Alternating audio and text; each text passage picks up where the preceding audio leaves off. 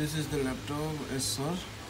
The part number is LA-7912 7912P and the problem was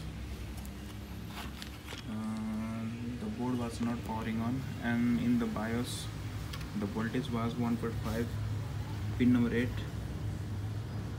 and the fault was this MOSFET PQ6 PQ6 MOSFET was burned. PQ6 MOSFET was the faulty. I just checked all the requirement voltage and just mm, just because of uh, this voltage in pin number 8 1.5 I just traced this voltage PK6 and there was also 1.6 voltage in this MOSFET and I just uh, uh, checked the schematic and there was the gate voltage was 3 volts and the drain voltage drain and source voltage was 19 volt. But in this case the voltage was only uh, 3 volts and the 1 volt.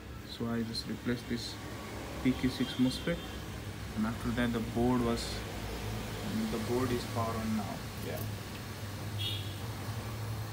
I just want to show you guys. This is case study.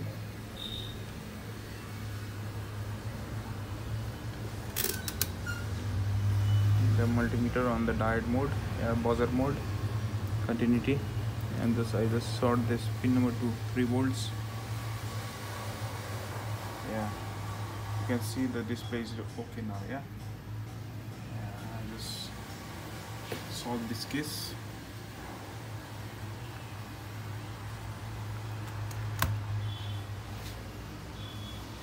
the board is okay now yeah?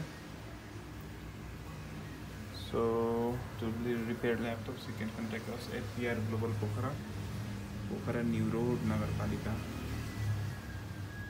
yeah. Okay thank you. This is very short case study in this motherboard. There was short in PQ6 MOSFET and I just replaced that MOSFET.